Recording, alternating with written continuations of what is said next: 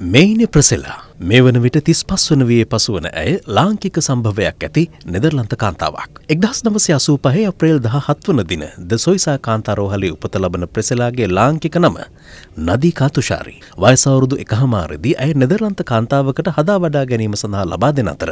මේ වන විට ඇය පිරිමි දරුවන් දෙදෙනෙකුගේ මවක්. ප්‍රසෙලා ඉකුත් නමවැනිදා ලංකාවට පැමිණෙන්නේ තමන් මෙලවට බිහි කළ මවසොයාගෙනයි. ඇය පවසනාකාරයට පතිරණගේ දයානන්දනී නම් ඇයගේ මව කළුතර ප්‍රදේශයේ පදිංචිකාරණයක්. මව සොයා ගැනීමේ අභිප්‍රායෙන් සමාජ මහද්‍ය ඔස්සේ ඇය මව පිළිබඳ තොරතුරු ඇතුළත් කර මව සොයා ඇති අතර.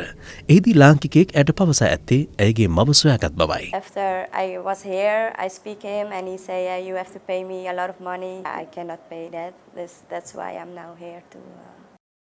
කෙසේ නමුත් මේ වන විට ඇයගේ එකම අභිප්‍රාය වී ඇත්තේ තම මව දෑසින් දැකීමයි. I'm searching for a long time. Some people search for me here and they cannot find something. I came here to see my mom